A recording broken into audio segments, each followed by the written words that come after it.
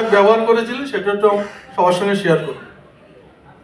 আমার নাম সৌমেন দে আমি সোনারপুর মালঞ্চ থেকে এসেছি।